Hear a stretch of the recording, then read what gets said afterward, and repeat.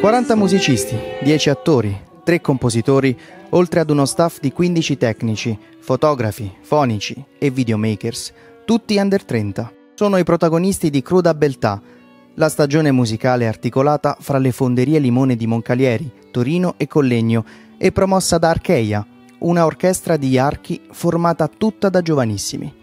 Archeia Orchestra è una realtà giovanile che è nata sette anni fa a Torino, da cinque anni è un'associazione culturale che racchiude tanti giovani musicisti e non musicisti, ruotano attorno ad Archeia 40-50 persone e Archeia è, si sviluppa sotto forma di un'orchestra d'archi, però prevede anche al suo interno ensemble misti, quindi ci sono anche percussioni, fiati, eccetera, eccetera. È una realtà giovanile, attiva sul territorio torinese, che collabora con altre realtà eh, giovanili, sempre sul territorio, per cercare di creare facendo rete insieme. E, mh, la diretta espressione di Archei ovviamente è la musica, ma più in generale tutte le forme d'arte.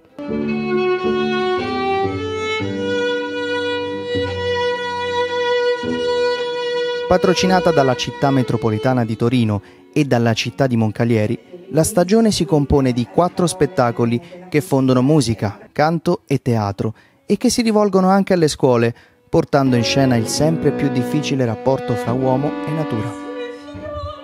E, ehm, cruda beltà, ovvero la crudele bellezza, il titolo della stagione 23-24 che vi presentiamo, e con la quale vogliamo raccontare il forte contrasto che c'è nel rapporto tra natura e uomo, un rapporto di amore ma allo stesso tempo di terrore. Cercheremo di farlo attraverso eh, quattro spettacoli, eh, in questo modo distribuiti. Il primo sarà un concerto, nella tradizionale forma del concerto di musica classica, nel quale però interverranno anche due attori a raccontare qualcosa.